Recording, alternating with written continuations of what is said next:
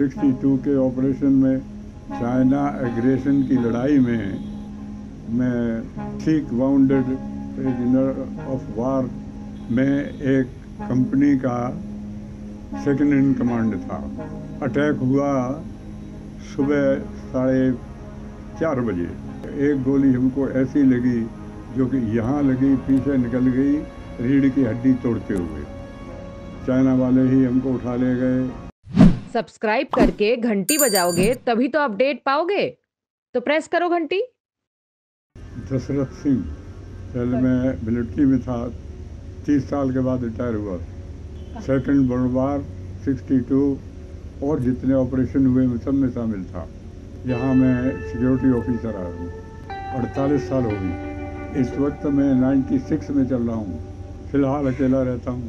Family में से पहले बच्चे थे और वो सब अपने अपने हिले लोडवाट से हो गए, अपने अपना करते खाते हैं। मेरी जन्म तिथि जो है 1921 आर्मी ज्वाइन किया 1941 सेकंड वर्ल्ड वार में अपने देश में बर्मा, सिंगापुर, मलाया, सुमात्रा और अपने देश का बड़ा हिस्सा, नेफा 62 के ऑपरेशन में मैं ठीक वाउंडेड प्रिजनर्स और प्रिजनर ऑफ़ वार चाइना वाले ही हमको उठा ले गए। वहाँ तीन चार महीने के बाद ज़्यादा सीरियस होने के लिए वापस कर दिए 1947 अगस्त में ये जो पंद्रह अगस्त हम लोग मनाते हैं, इस वक्त मैं डिस्ट्रिक्ट अमृतसर के जंगल में एक नहर की कोठी है, नहर इंस्पेक्शन हाउस।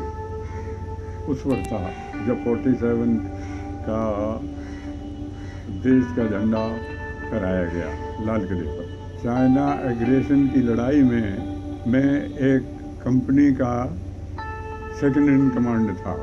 अटैक हुआ सुबह साढ़े चार बजे।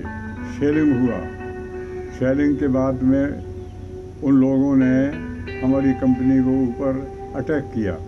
मेरी ये कंपनी न्यामकाचू रिवर के किनारे पर थी, जो कि थागला रिज के ठीक नीचे बहती है। थागला रिज के ऊपर से ये अटैक हुआ। उस अटैक में मुझे छोटी मोटी दो गोलियाँ लगी, जिनसे मैं कुछ विचलित नहीं हुआ। अपना कार्य करता रहा। लेकिन एक तुझे एक गोली हमको ऐसी लगी जो कि यहाँ लगी, पीछे निकल गई, रीढ़ की हड्डी तोड़ते हुए। उसी से मैं बेहोश हो गया और वहीं पड़ा था। हमारे होश में आने पर हमने देखा कि हमारे अन्य साथी भी और एक चीनी के घेरे में हैं। उन लोगों ने, यानी जो कि लड़ाई का तरीका है, उसके मुताबिक हम लोगों को फ़र्स्ट एड किया और पीछे भेज दिया। पीछे में, लासा में एक तिब्बतियन के घर में सभी लोगों को रखा गया। वहाँ कुछ थोड़ा उन्होंने इंजेक्शन वगैरह दिए, लेकिन, उससे कोई फ़ायदा न हुआ। उसके बाद में दोनों देशों में सुलह हो गई। सुलह होने पर उन लोगों ने हमको वापस कर दिया। मैं तो बेहोशी और मरणासन हालत में आया था। लेकिन यहाँ जो इलाज हुआ जीएच वगैरह में उससे मुझे मैं पूर्ण स्वस्थ हो गया। इसके लिए मुझे मेंशन इन डिस्पैच का अवार्ड मिला। उसके बाद फिर हम लोगों ने 65 में मुजफ्फराबाद बॉर्डर पर ड्यूटी की। उसके बाद और हम लोग दिल्ली में पोस्ट हुए। दिल्ली में पोस्ट होने के बाद मेरा पोस्टिंग प्रेसिडेंट ऑफ़ इंडिया के बॉडीगार्ड में हुआ। जाकर उतन साहब का मैं बॉडीगार्ड था। और रिटायर होने पर रामनगर किले में महाराजा विभूति नारायण सिंह ने मुझे अपने चीफ सिक्योरिटी ऑफिसर की हैसियत से जगह दिया।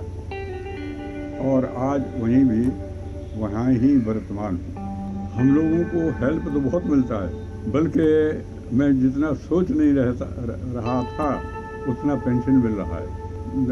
हर पाँच साल के बाद हमारा रेजिमेंटल सेंटर हम लोगों को रियूनियन में बुलाता है, हम लोग जाते हैं और वहाँ उचित सत्कार किया जाता है। मैं जब रियूनियन में जाता हूँ तो उसका मतलब यही होता है कि पुराने साथियों के साथ हिल मिल कर नए लोगों को उसकी नसीहत प्रदान करें। मैं पढ़ने लिखने में बड़ा घामड़ था। पढ़ता लिखता नहीं था। तो हमारे पिताजी भी आर्मी में थे, वो भी सूबेदार थे। तो उन्होंने कहीं, नहीं पढ़ता तो कोई बात नहीं। लेकिन मुझे वो पसंद नहीं आया कि हम पढ़ें न और अपने ख़ानदान को डुबोएँ। लिहाजा हम आर्मी में चले गए और वहाँ जा कर के हमने हाई स्कूल भी किया। आर्मी की लाइफ बहुत कठिन है, लेकिन उसमें मुझे बड़ा आनंद आता।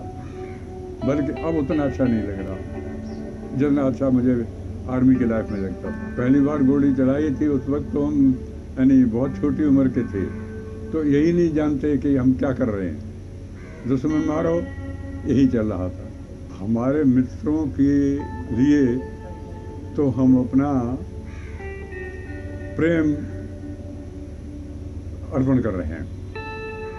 और उनकी और लंबी आयु होने की कामना कर रहे हैं। क्योंकि हम लोगों ने जो प्रेम व्यवहार के साथ में समय बिताया वो अब फिर उसके बाद हमको ऐसा नहीं मिला। अब मैं उस प्रिंसिपल को पालन करता हूँ कि अपने हैं दो देवता, जन्मभूमि जगदीश। हमारी जन्मभूमि भारतवर्ष, एक देवता और दूसरे देवता भगवान जो कि जगत पिता हैं।